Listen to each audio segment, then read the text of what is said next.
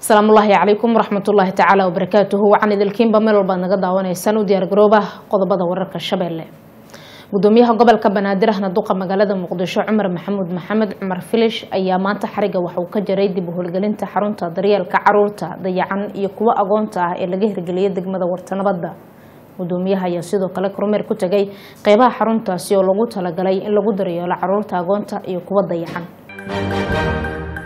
Maanta waxay ku beegan tahay xuska maalinta kow iyo labaatanka novembar oo sanad walba la xuso. Maalinta macalinka soomaaliyeed xuskaasi ayaa ku soo beegmaya iyadoo ay jiraan duruufo dhinaca nolosha ah oo haysta macalinka soomaaliyeed oo ay ku jiraan duruufo dhaqaale.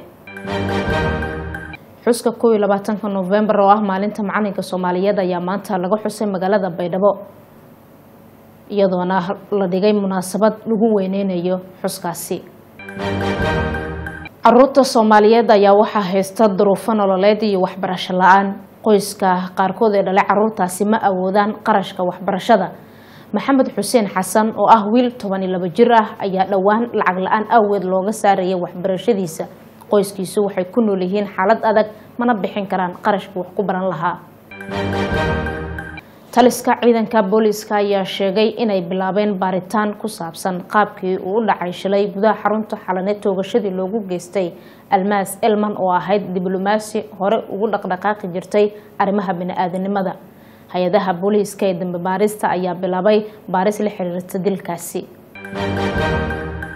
howlgalka amisom iyo ciidanka booliiska ayaa kulan ay dhowaan yeesheen waxay kaga hadleen qaabka iyo istaraatiijiyada dhinaca ammaanka ee doorashooyinka lagu wado inay dalka ka dhacaan sanadaha labada kun iyo labaatanka ilaa iyo labaatanka. Taliyaha ciidanka booliiska soomaaliyeed cabdi xasan xujaar ayaa sheegay in loo baahan yahay in ciidamo gaar ah loo tababaro sugidda ammaanka marka la gaaro waqtiga doorashooyinka.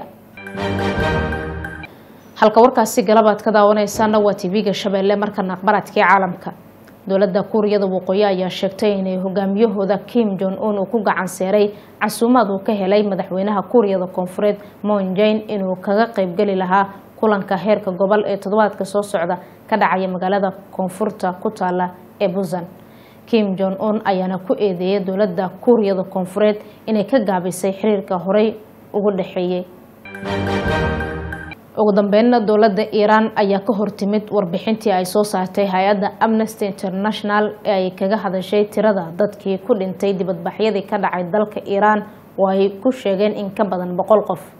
Tixraan ayaana ku tilmaantay warbixintan mid aan xaqiiq ahayn oo la been abuuray.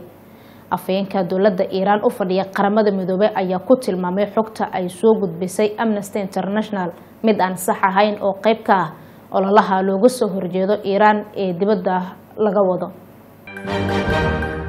Guud ahaana warkii waa naga intaa khiyaarteena daawanaysa isagoo faahfaahsan warka weyne soo galaya sideedda fiidnimo waqtiga bariga afrika. Ayaad ku daawan doontaane ka hor nabaday